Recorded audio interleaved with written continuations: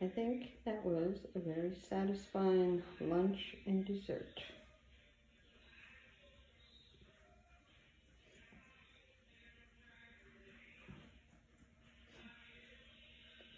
That's a nice soft pillow.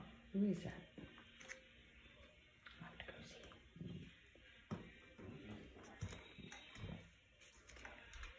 Uh, that is, can't see who you are. That's light pink. Okay. Had to see who was smart enough to find a pillow there.